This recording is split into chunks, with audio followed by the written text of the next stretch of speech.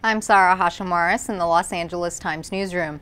Two social workers and two supervisors were fired by the Los Angeles County Department of Children and Family Services over the death of an eight-year-old Palmdale boy who was allegedly tortured and killed by his mother and her boyfriend.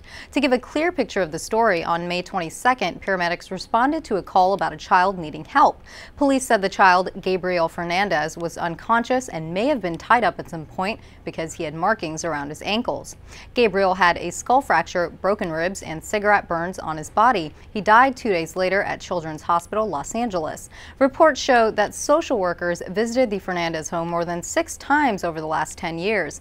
The boy's mother, 29-year-old Pearl Fernandez, admitted to being present while injuries were caused to her child by her boyfriend.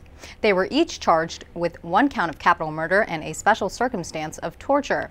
The Times reports that a county convened a Blue Ribbon Commission on Child Protection, which will begin meeting this week.